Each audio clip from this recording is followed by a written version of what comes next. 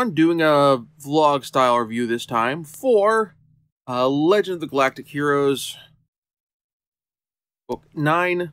Um, doing it this way as opposed to the other kind previous reviews because there's less recap to do this time than the last few ones. Short recap of Book 8.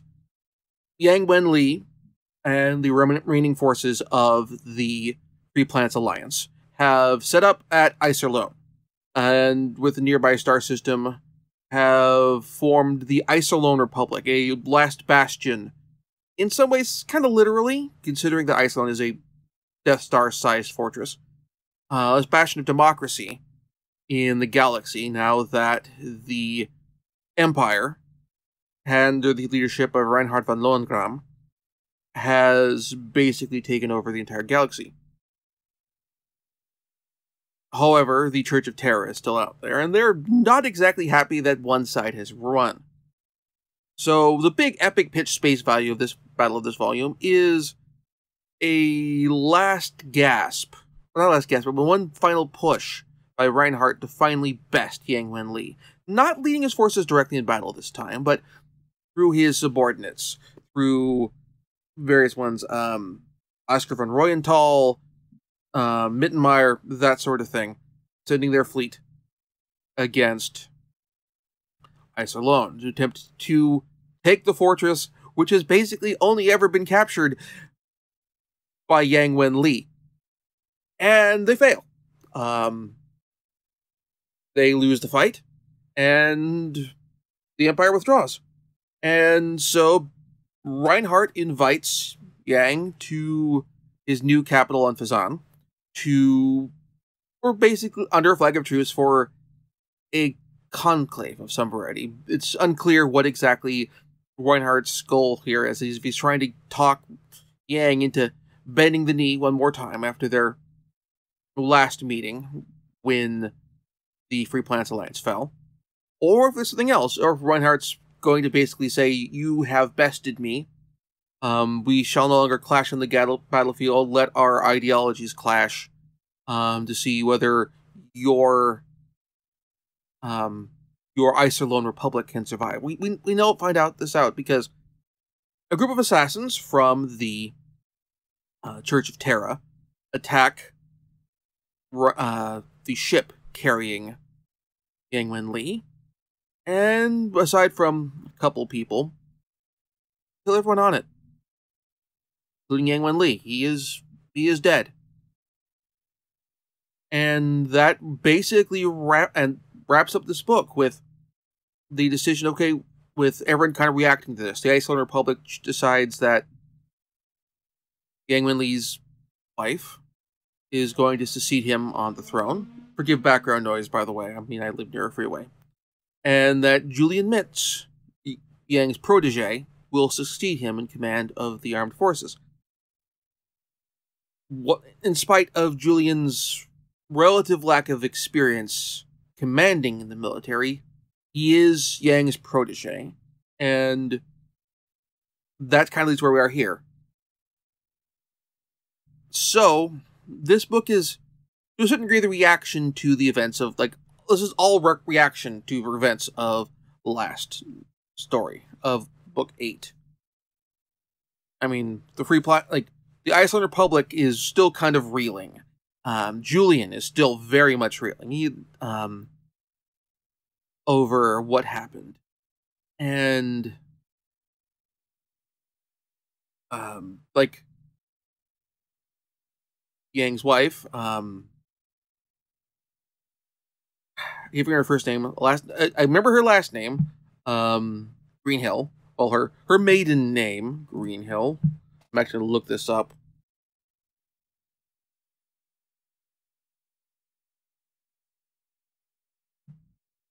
Frederica Greenhill.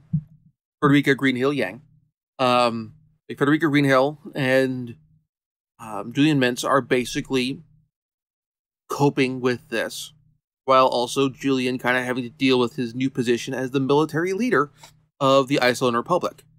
And as far as my thoughts on the decision to put Julian in charge, it makes actually a degree of sense. We kind of have a setup for this way back when after Yang put down the uh, Free Planets Alliance Civil War, uh, he was sent for the court martial while the um, Imperial forces attacked Iserlohn, and base basically Iserlohn staged their defense with Julian as the main strategic advisor, along with Yang's staff, as they effectively set up a battle plan of how the hell do we trick the Imperial Navy into thinking Yang's still here so that they don't try some like really daring stuff, or rather, that they maintain so they maintain the degree of caution that they would expect that that they would deploy were Yang not here or yet were Yang there.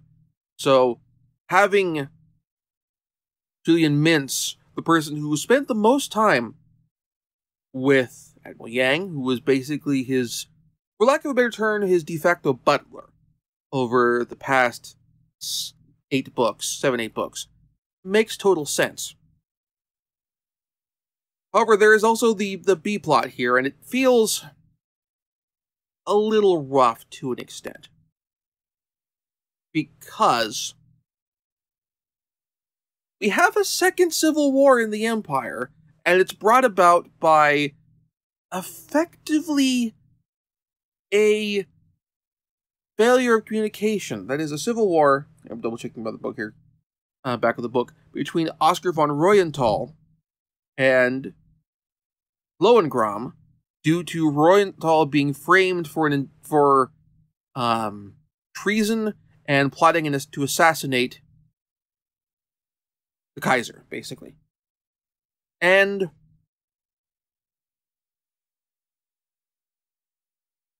I don't know what I think about this.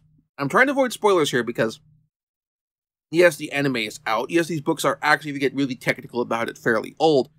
But this is still the latest book in this series, and by the time this episode goes up, the next book won't be out until, which is the final book, won't be out until December. So, I'm trying to keep the spoilers a little light, as I normally do with these reviews.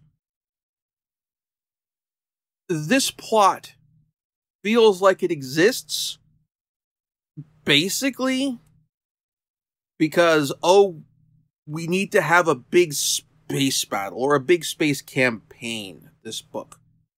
We can't have a legend of the galactic heroes novel that doesn't have a space battle uh, if there aren't any spaceships exploding then people won't buy the next one. When i think what this book really needs and hopefully we get this in book 10, which was kind of denouement. What I think this really needs is we need a politically political machination focused book. Because the crux of the matter is this, and this is actually kind of the core thrust of the Church of Terra's plan, and also part of Yang Wen Li's argument against Reinhard and autocracy monarchy is autocracy and monarchy to succeed depends on the ruler and how well the ruler handles threats from within and i don't mean in a military sense although this is certainly part of it.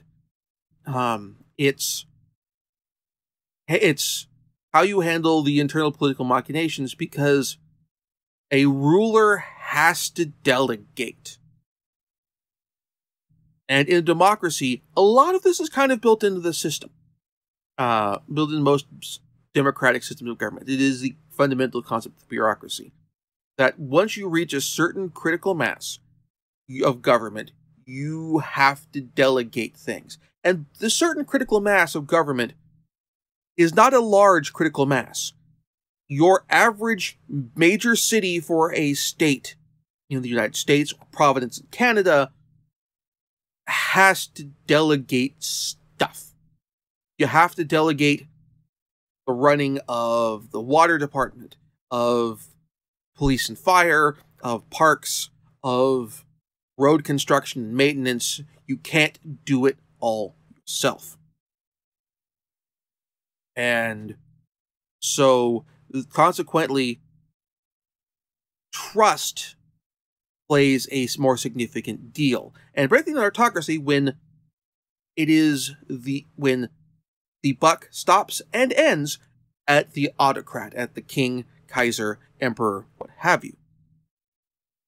He picks his advisors or his counselors or his cabinet or what have you and has no oversight. And the vetting process he has is solely his own and presumably other people who he delegates the vetting process to. But again, there's a matter of putting trust in the vetting process. Whereas for a democracy, if all runs well, which doesn't always, but that's actually part of the point of the whole thing with Yang Wen is when all runs well, your the people you are appointing to be top bureaucrats, again, the heads of cabinet, the head of your Department of Transportation, your um, Department of Justice, your Secretary of the not my Secretary of the Navy, but your head of the um, you, your head of the military, that sort of thing.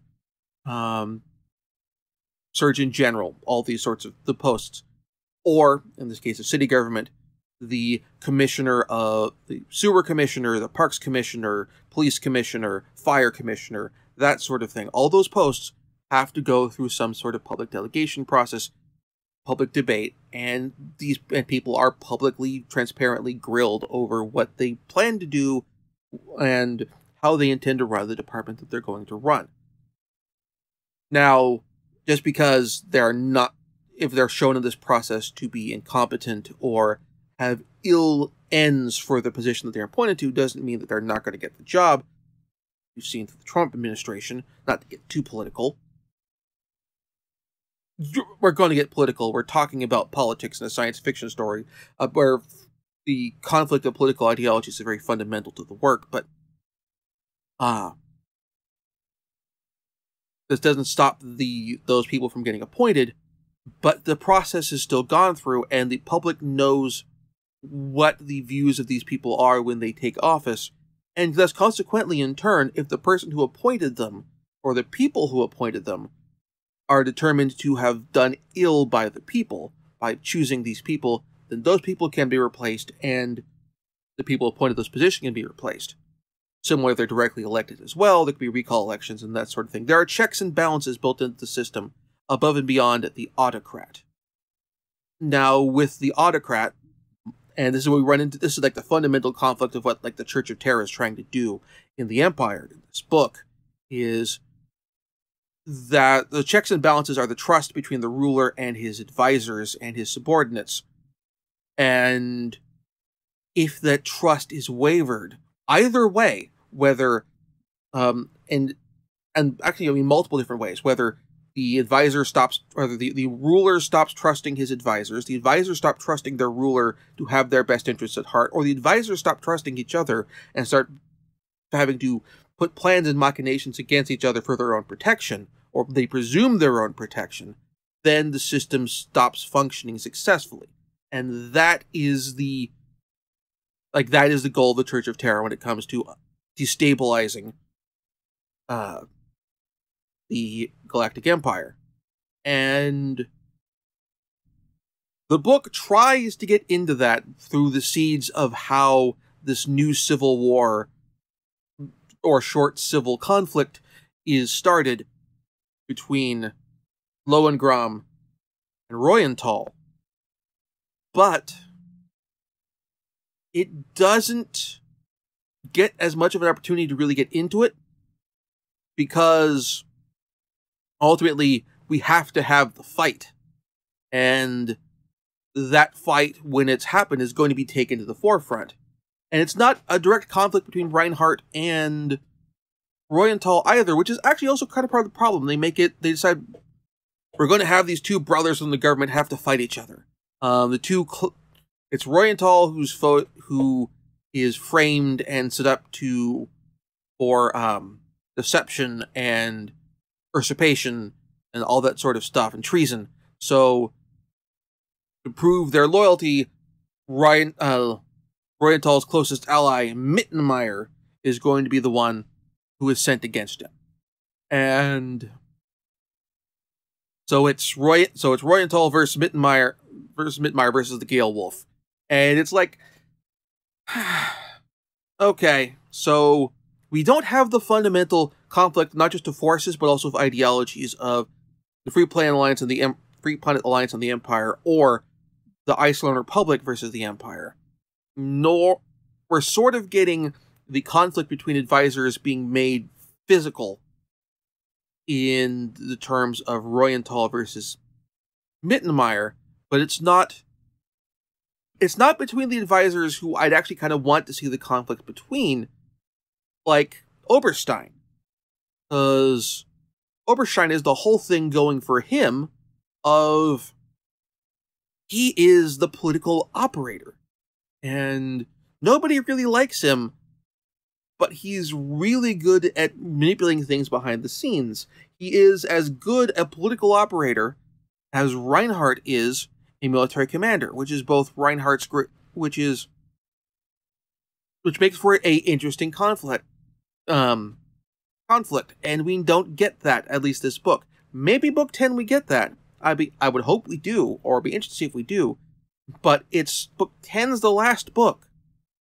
And I would rather book 10 be a denouement, considering how book 1 was, while there were space battles in there, so much heavily focused on setting up the universe, putting the pieces in place so that they can be laying everything out so they can be shoved into each other and everything can be well the game can play out we i would hope that book 10 would give an opportunity for that denouement of some variety or another of the fates of Julian Mintz and Reinhardt von Lohengramm, of the Empire and the Iserlohn Republic, of democracy and autocracy in the galaxy and how these things play out. But for this to like for that resolution to really pay off and to feel earned in the way not much earned, but um feel like the de-escalation the denouement, uh, denouement, the letting out of the breath after keeping it in, and sitting on the and the, the relaxation in the chair after being on the edge of our seat for seven or eight books since book two or three. Um, for that to for that to work we need to have this book to address the one last major sort of ideological and, and metaphorical conflict of the story and to, to pay off to tie up the la- the biggest knot of loose ends which is the political conflict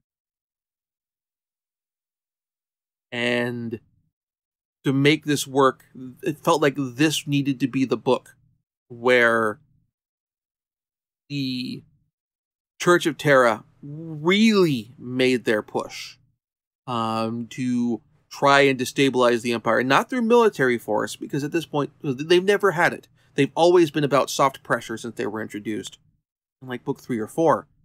So, where they really kind of twist twist the screws on that and try to manipulate things in their end and destabilize things so that they could try to seize control of the galaxy in their intended way.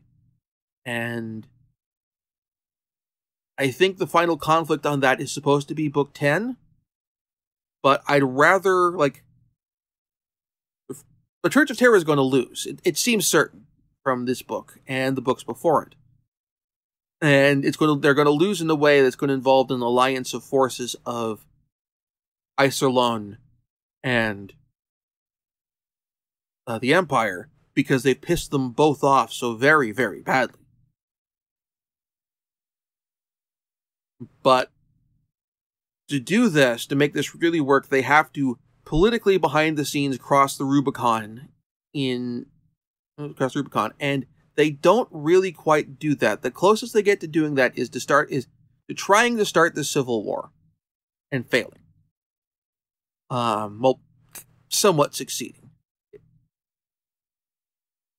and we'll see.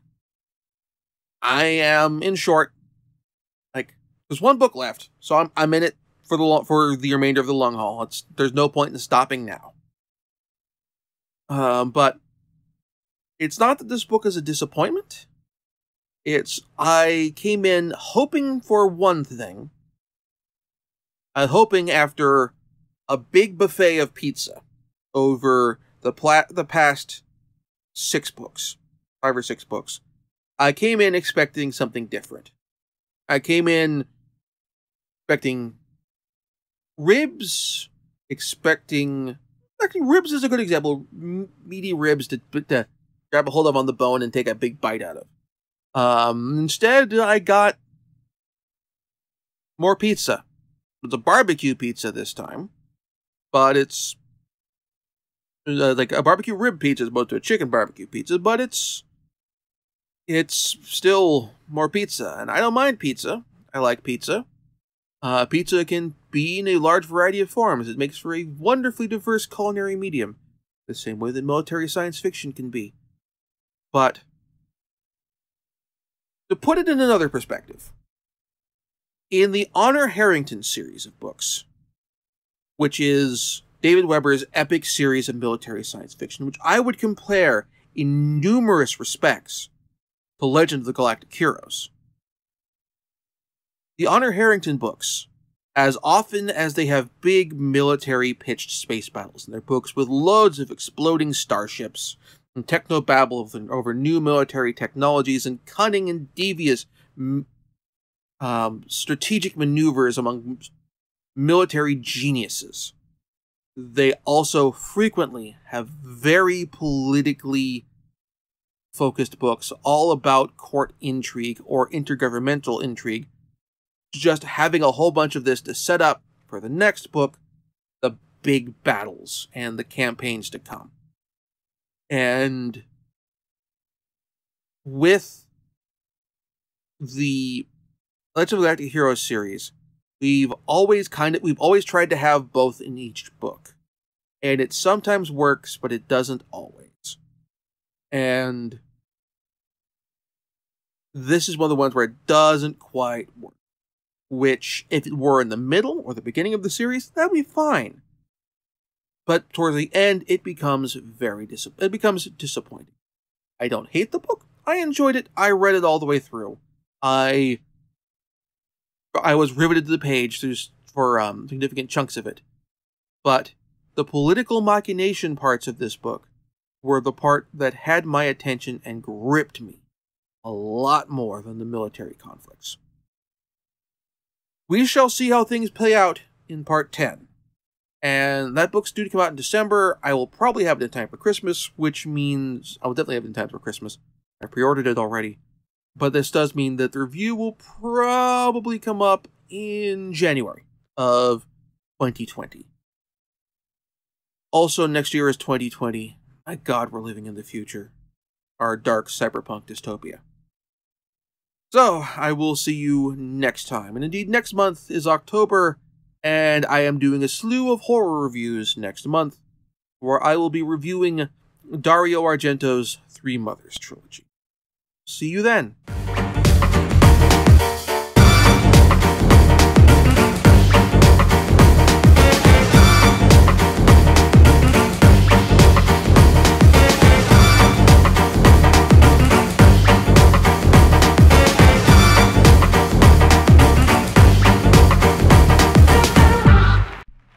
Thank you very much for watching. If you enjoyed the show, please like and subscribe. And also consider backing my Patreon. Patreon backers get episodes up to one week early of this show and any future Let's Plays.